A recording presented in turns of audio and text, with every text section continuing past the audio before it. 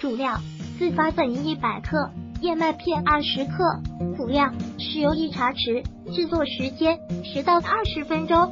自发面粉和麦片混合，加入适量水，温揉成面团，静置浸发三十分钟，再度揉匀。把放好的面团擀成厚圆片，做成心形小饼胚。炒锅，加一勺油，油热后放入饼胚，中火两面煎黄。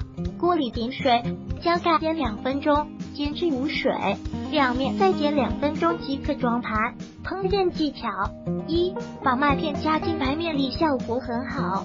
一是增加了食物的纤维，二是使面团更加柔软，营养更全面。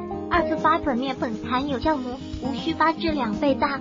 如果喜欢本视频，请分享并订阅本频道。